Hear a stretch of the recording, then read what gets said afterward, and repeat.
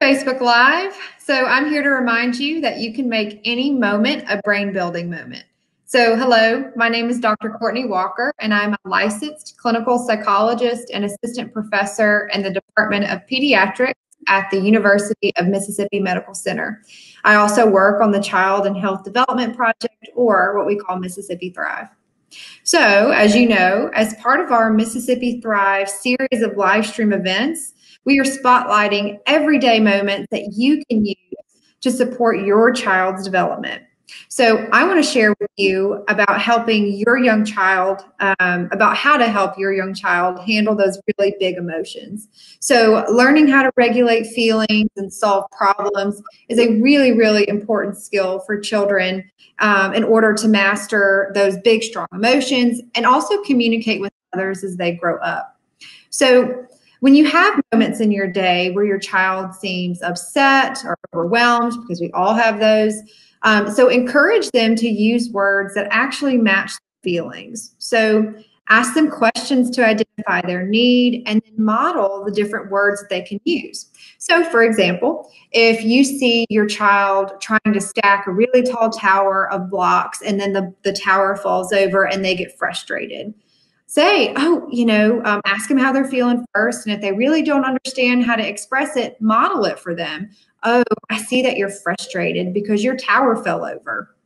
Um, so I want to show you a uh, video from vroom.org that really demonstrates how um, this family um, or this parent really took the time out of their day to really help their child deal with his big, strong emotions.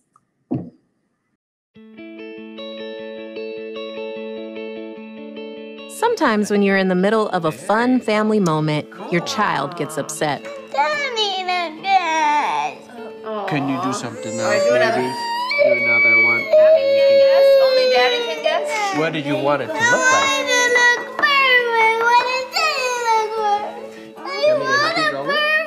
Stay calm and do your best to comfort your child and encourage them to use words. If your child is too upset to talk, try to guess what your child is trying to say. So perfect is is it big or is it small? Is it medium? Let's let's try to figure it out. Perfect. So maybe a medium size. Yeah, All right, so let's try a medium size house You have to do it at the pointy spot to make it perfect. to make it perfect. Helping your child learn to express their feelings and solve problems is an essential tool for learning to manage strong emotions and communicate with others. Vroom, make any moment a brain building moment.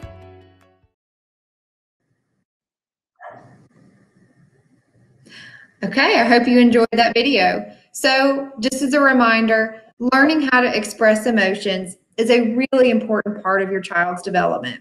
You can model positive behavior through everyday activities with Vroom. Um, so, if you want to learn more, visit uh, vroom.org or you can download the Vroom app on your smartphone. You can also learn more about early childhood development by visiting our website, MississippiThrive.com.